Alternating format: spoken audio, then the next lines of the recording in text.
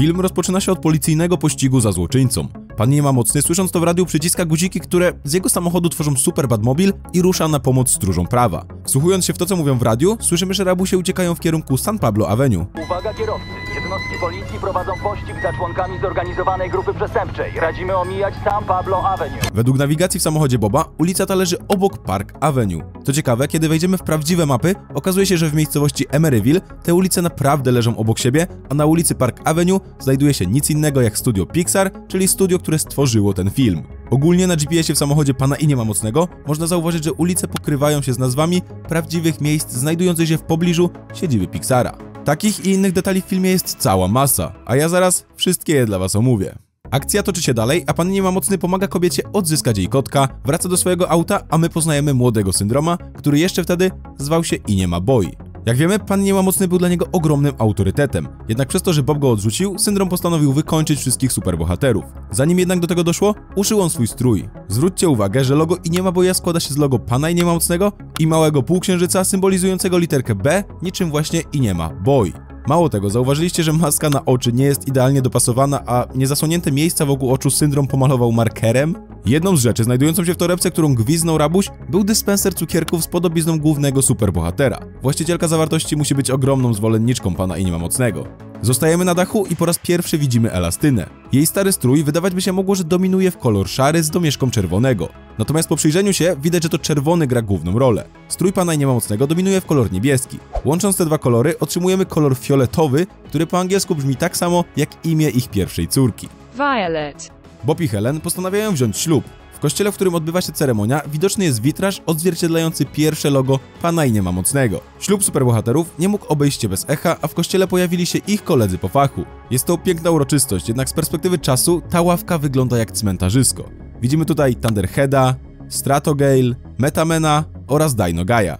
Tych wszystkich superbohaterów łączą dwie rzeczy: peleryny oraz śmierć. Thunderhead, 15 listopada 1958 rok. Peleryna zaczepiła się o rakietę. Stratogale, 23 kwietnia 1957 rok. Peleryna wciągnęła ją do silnika odrzutowca. Metaman, zahaczył peleryną o coś w windzie towarowej. Dynagai, wystający pręt. Muszę tylko uprzedzić wasze komentarze. Jeśli będziecie oglądać film z dubbingiem, to przedstawione daty śmierci poszczególnych superbohaterów są całkowicie zmienione i nie mam zielonego pojęcia dlaczego. Po pewnych wydarzeniach superbohaterowie przestają być pożądani i wręcz stają się nielegalni w społeczeństwie. Bob i Helen od tego momentu prowadzą życie w ukryciu. Mija 15 lat, po drodze rodzi się Viola, Max oraz Jack Jack. Znudzony tym statycznym życiem w ukryciu i pracą w ubezpieczalni Bob wraz z mrożonym pod przykrywką według polskiego dubbingu grania w czwartkowy bilard, a według oryginalnej wersji językowej środowych kręgli, wybierają się na małe łowy bandytów. Chłopaki stoją w ciemnej alejce, słuchają policyjnego radia i czekają na jakąś akcję. Kiedy taka się natrafia, wyjeżdżają z ukrycia, a naszym oczom ukazują się dwa napisy na murach. Pierwszy, restauracja Andiego, nawiązując tym samym do głównej postaci Toy Story, czyli młodego chłopca o imieniu Andy. Natomiast drugi to delikatesy Luxo, nawiązujące do krótkometrażówki Pixara z 1986 roku, w której poznaliśmy zarówno lampę Luxo oraz piłkę Luxo. Bo widzicie, Pixar w swoich filmach umieszcza pięć stałych detali, a jednym z nich są właśnie plakaty, napisy, postacie czy przedmioty, które pochodzą z już wypuszczonych animacji. Bob i Mrożon powalają złodziei, natomiast policja przybywająca do sklepu jubilerskiego to ich bierze za włamywaczy. W tym momencie rozpoczyna się chyba najlepsze nawiązanie, jakie znajdziemy w tym filmie. Aby to zrozumieć, musimy wiedzieć, że w oryginalnej wersji językowej Mrożonowi głosu udzielił Samuel L. Jackson. Sekwencja sceny z policjantem, kiedy Mrożon po podniesieniu rąk sięga po kubek z wodą, jest odwzorowaniem 1 do 1 sceny właśnie z Samuelem L. Jacksonem z filmu Szklana Pułapka 3, kiedy to jego postać sięgała po telefon, a wystraszony policjant nie wiedział co zrobić. Rodzina i nie ma mocnych jest wyjątkowa głównie ze względu na swoje wrodzone moce, które, uwaga, nie są w żaden sposób przypadkowe, a są wręcz przypisane do postaci ze względu na ich odzwierciedlenie w rzeczywistości. Bob, czyli głowa całej rodziny, ojciec i mąż, jest super silny, ponieważ zazwyczaj ojcowie są najsilniejszymi członkami rodziny. Supersiła odwzorowuje również funkcję głowy rodziny w społeczeństwie. To on ma zapewnić bezpieczeństwo i byt dla swojej żony oraz dzieci. Elastyna jest rozciągliwa, ponieważ uważa się, że matki wychowujące dzieci i zajmujące się domem muszą robić wiele rzeczy jednocześnie, do czego potrzeba podzielnej uwagi i najlepiej dodatkowych, lub jak w tym przypadku, rozciągliwych kończyn. Viola potrafi stać się niewidzialna, odwzorowując typową nastolatkę, która przechodzi okres dojrzewania. Jest nieśmiała i ma wiele kompleksów, przez co w wielu sytuacjach codziennego życia chciałaby po prostu, aby inni jej nie widzieli. Max jest super szybki, ponieważ młodzi chłopcy mają w sobie zazwyczaj niewyczerpaną ilość energii i są bardzo aktywni fizycznie. Jack Jack natomiast posiada wiele mocy, nad którymi kompletnie nie panuje, ponieważ małe dzieci są nieprzewidywalne i zarówno to jak my nie do końca potrafimy zrozumieć Bobasa, tak one nie rozumieją świata, stąd też przeróżne moce. Przechodząc do miejsca pracy Boba, ołówek, który struga jego szef, ma na sobie napis Twoje życie jest w Twoich rękach. Bardzo oryginalne motto jak na firmę, która sprzedaje, uwaga, ubezpieczenia na życie. Zauważyliście, że w scenie, w której Bob prawie połamał sobie kręgosłup, zarówno deskorolka, jak i samochód mają cień, a sam bohater już nie? W pewnym momencie Bob czyta artykuł w gazecie o zaginięciu Simona J. Palladino. Jest to sekretna tożsamość Światłomiła. Szkieleta tego superbohatera Bob znajduje w późniejszej części filmu na wyspie Syndroma. Przejdźmy teraz do pokoju, w którym Bob może przez chwilę pożyć w spokoju. Jedną ze stosu rzeczy leżącą na półkach w tym pokoju jest gra Rocket Socken Robots. To gra, która istnieje naprawdę, ale również gra, którą miał na swoim biurku Al, postać z filmu Toy Story 2, mającego premierę 5 lat przed filmem i nie ma mocni, co czyni go kolejnym nawiązaniem do poprzednich produkcji Pixara. Widzimy również ten wielki plakat pana i nie ma mocnego, inspirowany chyba Kapitanem Ameryką. Ale co ciekawsze, identyczny plakat mogliśmy znaleźć już w filmie wypuszczonym rok wcześniej, czyli Gdzie jest Nemo. Ale dlaczego i w jaki sposób w jakimś filmie znalazł się element filmu, który jeszcze nie wyszedł? Na to pytanie odpowiemy sobie przy jednym z kolejnych detali. A tymczasem przyjrzyjmy się wizytówce Mirage. To była pierwsza wskazówka dla nas, jak i dla pana i niemocnego, że całe to przedsięwzięcie to wielka pułapka. Cały ten świstek papieru to jeden wielki detal. Słuchajcie, Samo imię oznacza miraż, czyli fatamorgane, złudne nadzieje lub pozory czegoś. Numer to 866 787 7476, co przenosząc na klawiaturę numeryczną możemy rozszyfrować jako tu super hyry o. Miraż tu superhero. W wolnym tłumaczeniu może oznaczać to pozory na superbohatera czy złudzenie superbohatera, mówiąc nam jednocześnie, że miraż to przekręt. Wyspa, na której przebywa syndrom i podstępem ściągnął tam pana i niemocnego, nazywa się dokładnie tak. Po sprytnym rozdzieleniu literek otrzymujemy zwrot No man is an island, co oznacza, że żaden człowiek nie jest jak wyspa, czyli odizolowany. Ludziom jest gorzej, gdy są sami, a nikt nie jest samowystarczalny. Ideą tego wyrażenia jest to, że żadna jednostka nie może istnieć całkowicie niezależnie i być odizolowana od reszty ludzkości, co jest motywem przewodnim dla całej fabuły filmu. Zarówno tyczy się to syndroma, który po odrzuceniu przez Boba w dzieciństwie stał się kim się stał, oraz przybrał ksywkę syndrom, oznaczającą zespół, ale również pana i niemocnego, który gdyby nie spryt i ciekawość jego żony, mógłby już nie doczekać kolejnych urodzin.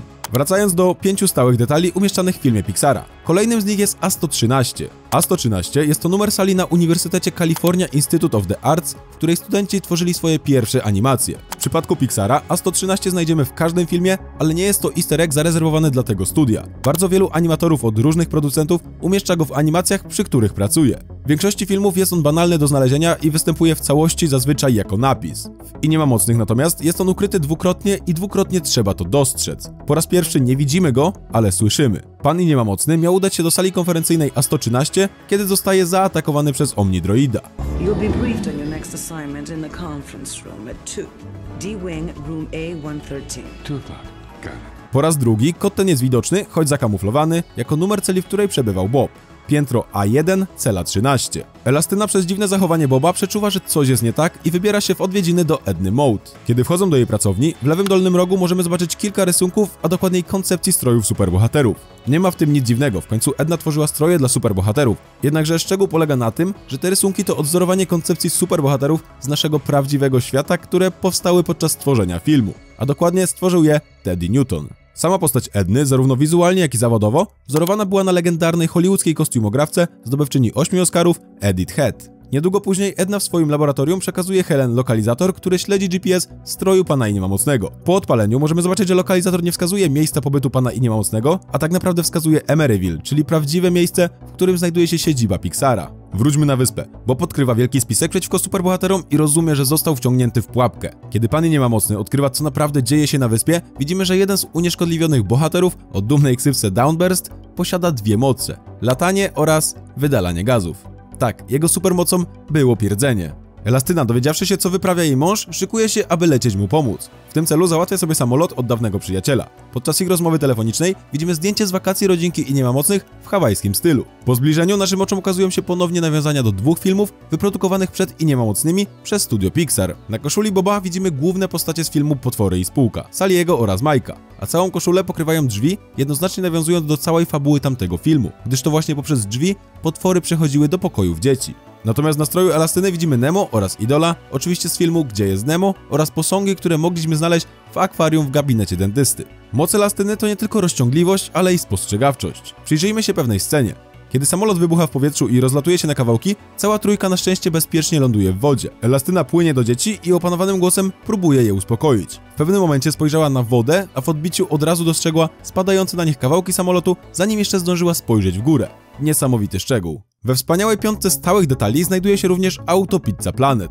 Samochód po raz pierwszy pojawił się w pierwszej pełnometrażowej produkcji Pixara, czyli Toy Story, i od tamtej pory pod różnymi postaciami pojawia się w każdej kolejnej animacji. No, prawie każdej. Samochód Pizza Planet po dziś dzień nie pojawił się tylko w jednej animacji i są to właśnie i nie ma mocni część pierwsza. Nie był to jednak celowy zabieg, a sam Pixar potwierdza, że samochód nie trafił do filmu tylko z jednego powodu.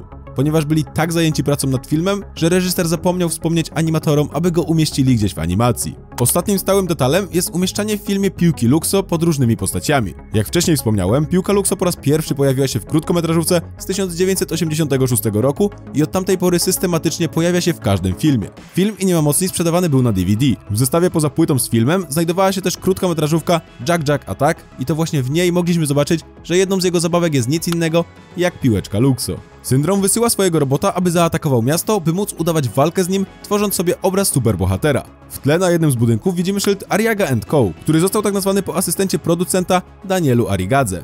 Kiedy i mocni przybywają na miejsce, za plecami Helen, Violi i Maxa, pojawia się kolejny budynek oszyldowany jako Lozano Records. Nazwa ta nawiązuje do jednego z pracowników Pixara, Alberta Lozano, artystę produkcyjnego. Wróćmy jednak do przepowiedni przyszłych filmów. Studio Pixar słynie z tego, że praktycznie zawsze wypuszczając daną animację, wiedziało już co będzie miało kolejną premierę. Z tego też powodu w każdym filmie umieszczali bardzo mały easter egg, który ciężko było odkryć nie znając filmu, który jeszcze nie wyszedł. Natomiast po latach doskonale wiemy, że kolejną pełnometrażową animacją po I nie ma mocnych były auta. A więc podczas walki pana I nie ma mocnego z robotem Syndroma, pod koniec możemy zobaczyć zaparkowanego Doka Hudsona, czyli mentora Zygzaka i jedną z najważniejszych postaci z aut. I nie ma mocni wraz z mrożonem zwalczają, a przynajmniej im się wydaje, że zwalczają, syndroma, a ludzie podchodzą do nich oklaskując ich jak to przystało na bohaterów. Natomiast ta dwójka dżentelmenów nawet komentuje ich poczynania.